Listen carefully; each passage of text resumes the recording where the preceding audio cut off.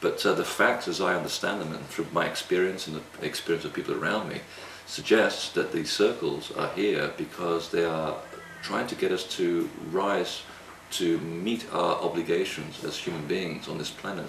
And it's all about responsibility. They're helping us to take responsibility for our actions, get us to be good citizens of the planet because everything that's happening down here that we're doing to the planet is all having an energetic repercussion elsewhere in the universe. Everything we do down here is sending out shockwaves throughout the universe, and at some level, they are interacting and influencing what other people are doing elsewhere.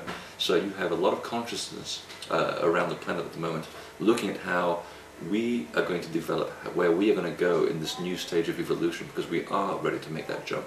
And we're either going to make the jump positively, or we're basically going to perish. It's one or the other. This is the last, this is the 11th hour.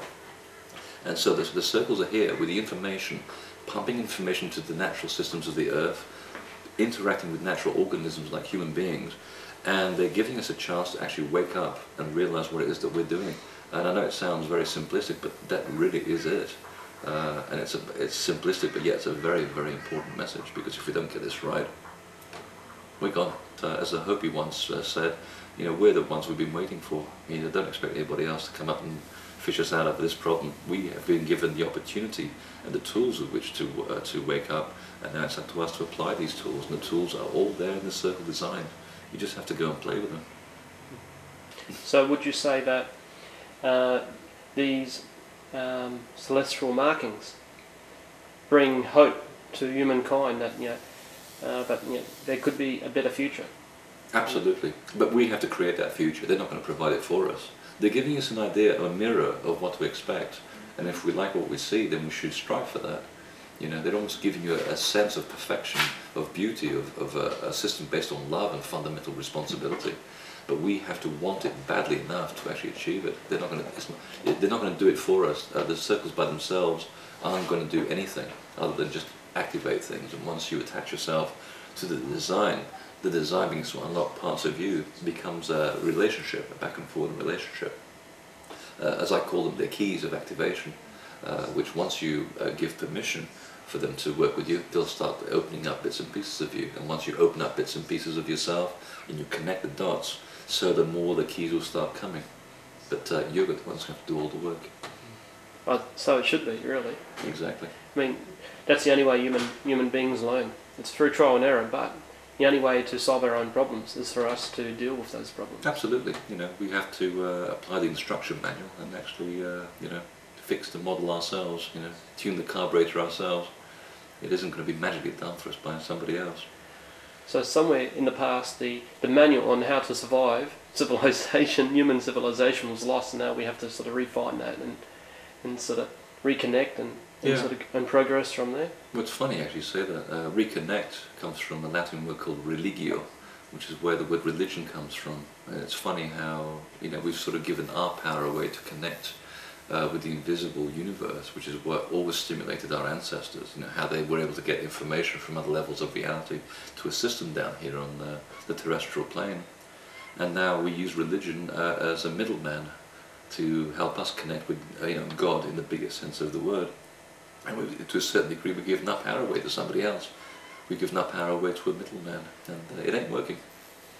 No, no, not when you use it for other means. Yes, I mean, it's become a system of control, and uh, but that's part of the human experiment, where um, you know, for the last four thousand years, we've undertaken an experiment to give our power away to the few who've controlled the many, and the experiment is now over. And this happens every four thousand years, like clockwork. Uh, we, as a consciousness, undertake an experiment to to experience something uh, between 8,000 and 4,000 BC, for example, or should I say, no, 6,000 to 2,000 BC. Uh, we're experimenting with the female principle. We honoured and worshipped the female principle. I'm not, I'm not just talking about worshipping women. I mean, men were doing it too. We were worshipping the lunar cycle in nature, and we worked with that cycle in order to maintain a balance of existence on Earth. Once we learned that and we experienced that, we decided to do the inverse, which is to give our power away. Uh, so the shaman becomes the priest who takes over the control uh, of the tribe and begins to control the tribe because they become the uh, the center of attention, the uh, the ego, uh, and the uh, in, a, in a sense the uh, the star. You know, and today we have this wonderful culture. And talking of a star, talking of a star, Um, Well, it's been a dismal failure, this uh, 4,000 year experiment. well, it hasn't because it's the experience that you have to remember. Uh, don't attach the judgment to it. Okay. Because what you've learned out of this experience is that it doesn't work. It brings with it an unbalanced way of living, where we give away our control to other people to do the thinking for us. And that's how we ended up in this disaster. That is the experiment, and this is the experience. So no experience is ever lost. So now we as souls know how, what it means to give our power away. Chances are we're not going to do it mm-hmm. again. So this is why we're now ready to go to another level of existence, which is now why we're in the middle of all this chaos. We feel that something needs to change, and the powers that be, who have held on for this experience for two and a half, well, for four thousand years, know the time is up, and they're going to hang on for dear life. And you can see today that they are trying their damn best to make sure that Oh, yes. they retain power, but it's falling apart. And do we know what the next experiment will be then? Yes, the uh, concept is that we're going to match uh, head and heart into harmony, in alignment, and we're going to have a fusion between male and female principles, so you have perfect balance. And it will also be uh, an age of knowledge, where we actually use the knowledge to further the greater benefit of the common good. That's where we're trying to get to.